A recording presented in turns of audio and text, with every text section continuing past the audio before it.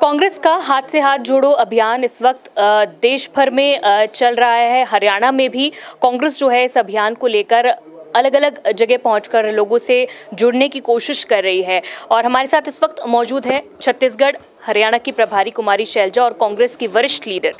Ma'am हाथ से हाथ जोड़ो कैंपेन जो चल रहा है उसके तहत आज आप अ, अंबाला लोकसभा के कई सारे अलग अलग इलाकों में पहुँची थी। किस तरह ये कैंपेन है ये चल रहा है? देखिए ये तो पूरे हरियाणा में चल रहा है पूरे देश में चल रहा है और हमारी जिम्मेवारी बनती है कि हम जहाँ से मैं एमपी रही यहाँ पर भी हम काम करें और हमारे जो यहाँ के नेता लोग हैं कार्यकर्ता हैं सबकी इच्छा थी कि वो आगे इस बात को बढ़ाएँ क्योंकि जब राहुल जी आए थे और उन्होंने भारत यात्रा की थी अम्बाला में आए तो हमारे इस पूरे क्षेत्र के कार्यकर्ता अच्छी बहुत अच्छी संख्या में वहाँ पहुँचे, बहुत उत्साहित थे। और अब उनका मन था कि हम आकर ब्लॉक्स में असेंबलीज में सब जगह जाकर लोगों के साथ मिलें, वहाँ पर और काम करें। और ये भी आप मानेंगे कि आज के दिन जनता में भी और कार्यकर्ता में भी एक नया उत्साह है।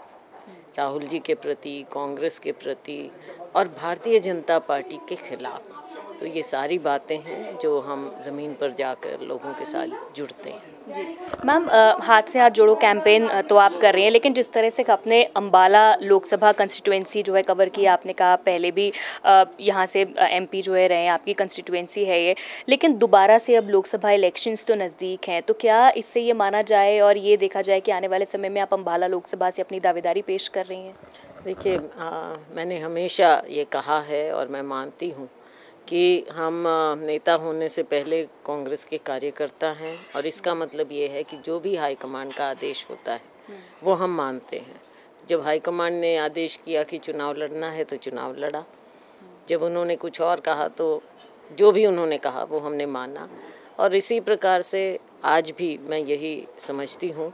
लेकिन मैं ये भी समझती हूँ कि हमारी जिम्मेवारी बनती है कि यहाँ पर हम लोगों को, कार्यकर्ताओं को हम इकट्ठा रखें और पार्टी को नीचे से मजबूती दें।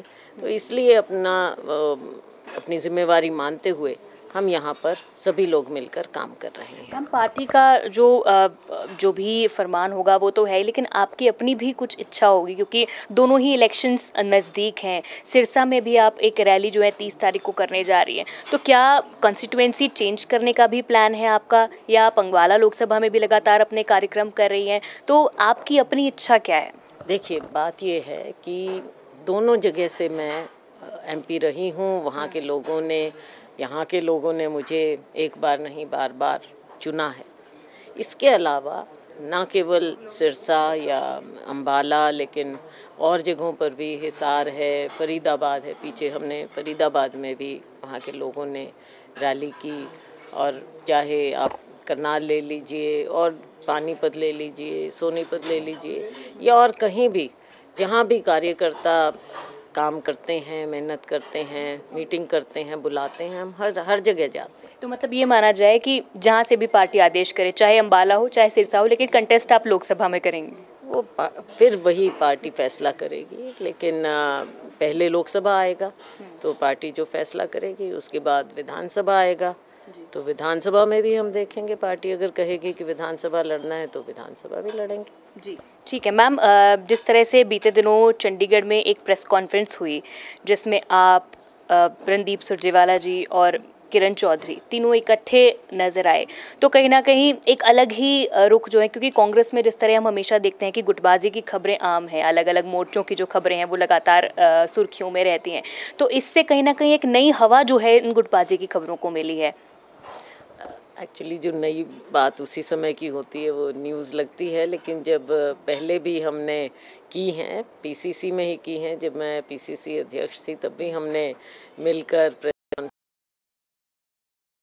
लेकिन अभी हमें लगा कि जो असली मुद्दे हैं, जिनसे हमने भारतीय जनता पार्टी, जजपा सरकार को कटघरे में खड़ा करना चाहिए, जो बातें उठानी चाहिए, हरियाणा के युवाओं की बात उठानी चाहिए तो हमें लगा कि ये हम प्रेस में जाएँ और अपना समर्थन दें और जो असली बात है, जो आंकड़े हैं और सरकार द्वारा ही दिए गए आंकड़े हैं, उनको हम उजागर करें।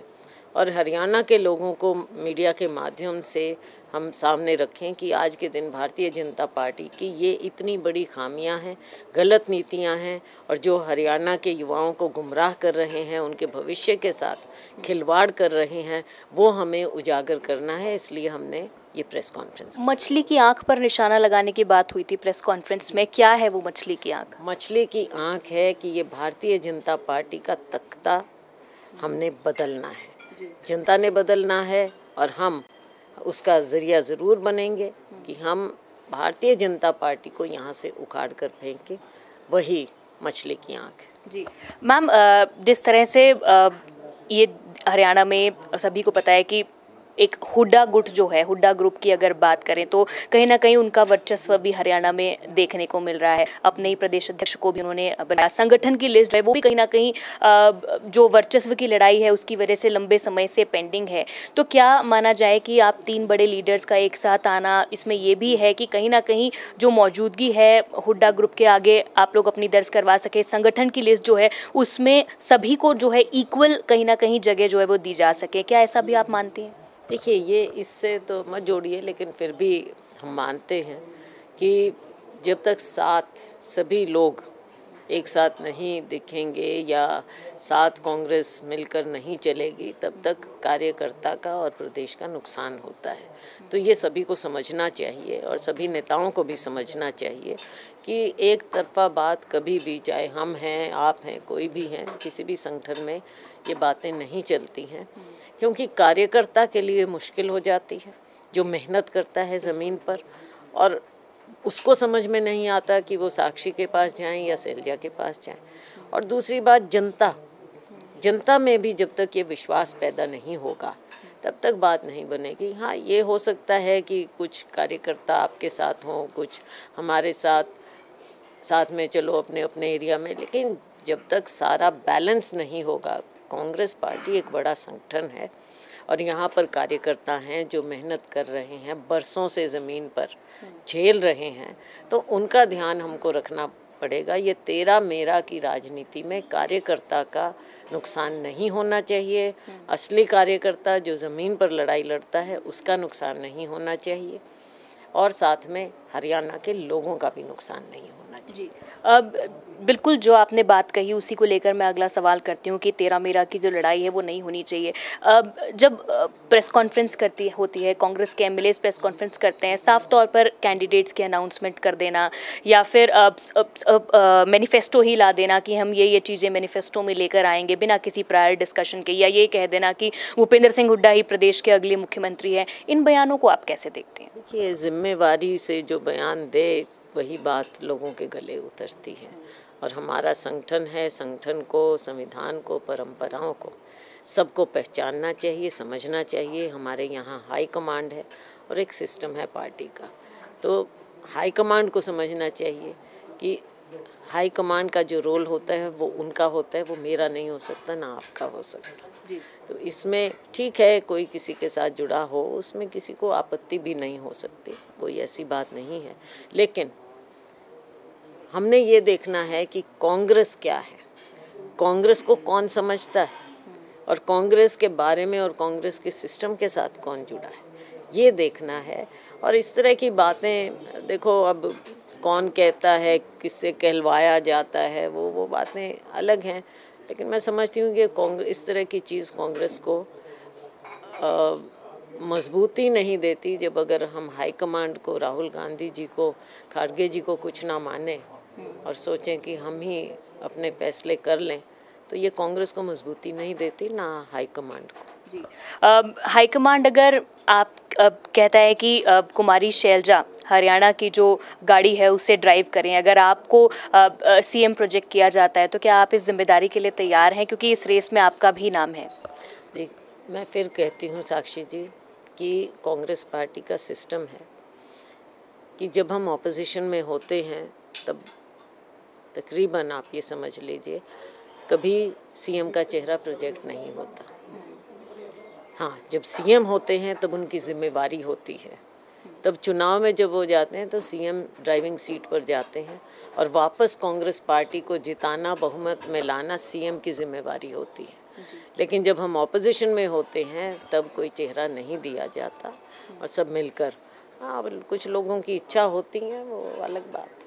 आपने अभी कहा था थोड़ी देर पहले कि हरियाणा में कार्यकर्ताओं में, लोगों में कांग्रेस पार्टी के प्रति काफ़ी ज़्यादा उत्साह है। क्या वजह मानती हैं आप इस उत्साह के पीछे? क्या ये बीजेपी, जेजेपी की सरकार की 10 सालों की एंटी इनकम्बेंसी फैक्टर है, या फिर कर्नाटक और हिमाचल में बीते दिनों कांग्रेस पार्टी को मिली जीत है? ये उत्साह की मुख्य वजह क्या है? हमेशा दो वजह होती हैं नेगेटिव और पॉजिटिव नेगेटिव आप ये देखिए कि 10 साल इनकी सरकार रही। तो 10 साल में लोग अब इनसे बिल्कुल विमुख हो चुके हैं। आप खुद देखते हैं कि माननीय मुख्यमंत्री जी जहाँ भी जाएँ, उनको कैसे ऑपोजिशन का सामना करना पड़ता है, उनको बल्कि अपने जो प्रोग्राम थे वो स्थगित भी करने पड़े, ख़त्म करने पड़े। तो लोग इनसे दूर जा चुके हैं। इन्होंने लोगों की नब्ज़ को कभी समझा नहीं। कभी राजनीति की धर्म की कभी जाति की हरियाणा में इस तरह से की इन्होंने। लोगों ने कुछ हद तक इन पर विश्वास किया इनको मौका दिया लेकिन इन्होंने हरियाणा के लोगों को ना समझा ना पहचाना ना हरियाणा के लोगों को कुछ दिया ना विकास कहीं आपको नज़र आ रहा कोई नए प्रोजेक्ट नहीं आए कुछ नहीं ये कर पाए हैं। और जो ये बार बार कहते हैं डबल इंजन हमें तो कहीं सिंगल इंजन भी नहीं दिख दिख रहा है प्रशासन शासन, कुछ भी नहीं यहाँ पर दिख रहा है। नेगेटिव है। जैसे मैंने कहा, और मुद्दे हैं। महँगाई है, बेरोज़गारी है, किसानों के मुद्दे हैं, गरीबों के पहचान पत्र के मुद्दे हैं, शिक्षा की नीति है। बहुत सी नेगेटिव्स हैं। ये सब नेगेटिव्स हैं। दूसरी बात है पॉजिटिव पॉजिटिव ये है कि आज के दिन लोग कांग्रेस की ओर देख रहे हैं। और इसमें एक मेजर फैक्टर मेजर फैक्टर ये था कि राहुल जी ने जो यात्रा की, कन्याकुमारी से कश्मीर तक यात्रा की, उन्होंने देश के लाखों लोग, करोड़ों लोग जुड़े उनके साथ फिजिकली या मीडिया सोशल मीडिया के माध्यम से। लोगों को राहुल जी में एक अपना नेता नज़र आ रहा है। दूसरी बात, उसका आप नतीजा ये भी देखते हैं कि हिमाचल हुआ, कर्नाटक हुआ। वहाँ पर लोगों ने चुनाव लड़ा, मिलकर चुनाव लड़ा। राहुल जी का नेतृत्व, खाड़गे जी का नेतृत्व, सोनिया जी की रहनुमाई, प्रियंका जी की मेहनत, सारी चीज़ें और कार्यकर्ता, सबने मिलकर जो ये चुनाव लड़ा तो उसका नतीजा आपको हिमाचल में दिखा, कर्नाटक में बहुत बढ़िया नतीजा आपको नज़र आया। वहाँ पर तो हमारे सुरजेवाला जी, प्रभारी भी रहे। मैं खुद वहाँ पर मैंने जाकर देखा यात्रा में कितना बढ़िया सिस्टम वहाँ के नेताओं का सेट था अंडरस्टैंडिंग से जो काम हो रहा था। तो ये सारी बातें हैं पॉजिटिव कांग्रेस की है नेगेटिव बीजेपी और हरियाणा की बात करें तो बीजेपी जजपा की है। दोनों चीज़ों को अगर हम देखते हैं तो लोगों की नज़र और उम्मीद कांग्रेस पर टिकती है। जी। मैम ओपीएस एक बहुत बड़ा फैक्टर है, क्योंकि एक बड़ी संख्या में कर्मचारी वर्ग है, जो कि एक डिसाइडिंग फैक्टर भी हो सकता है कि कौन सी सरकार जो है उसे सत्ता में बिठाना है। हिमाचल में भी आपने देखा कि ओपीएस के फैक्टर ने बहुत काम मतलब कारगर साबित हुआ, उसकी वजह से सरकार आई। हरियाणा में कितना फीजिबल आप ओपीएस को मानती हैं? क्योंकि भूपेंद्र हुड्डा भी ये कहते नज़र आते हैं कि अगर हमारी सरकार आई तो पहली कैबिनेट में ओपीएस को लागू करेंगे। देखिए ओपीएस हमने हिमाचल में प्रॉमिस किया लागू किया। राजस्थान में छत्तीसगढ़ में ओपीएस एक मुद्दा है जो कर्मचारी नाराज़ हैं आज के दिन। सरकार से उन, उनके भविष्य के साथ भी उनके रिटायरमेंट के साथ भी खिलवाड़ हो रहा है। तो कांग्रेस इस बात पर है और ये कांग्रेस पार्टी ने कहा है कि हम ओपीएस को लागू करेंगे। जी। ठीक है। मैम, एक आखिरी सवाल मेरा। राहुल गांधी को लेकर एक गुजरात हाई कोर्ट में आज फिर से फैसला आया है और जो सेशन कोर्ट का फैसला था, उसे बरकरार रखा है हाई कोर्ट ने भी। और ये भी साथ में कहा है कि 10 और अलग अलग ऑफेंसेस हैं जो अभी राहुल गांधी के खिलाफ पेंडिंग है और इसीलिए ये जो सज़ा है, उसे भी बरकरार रखा गया है। इस फैसले पर आपका क्या रिएक्शन है? रिएक्शन ये है कि आप देख रहे हैं जो एक पैटर्न नीचे से ऊपर तक चला आ रहा है।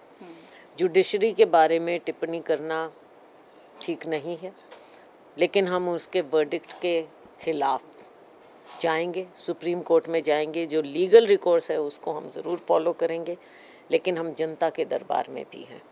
जनता भी इस बात का फैसला करेगी कि जो आज राहुल गांधी के साथ हो रहा है, इनके नेता कुछ भी बोलते हैं, इनके नेता भगवान के नाम पर जाकर वहाँ वोट मांगते हैं।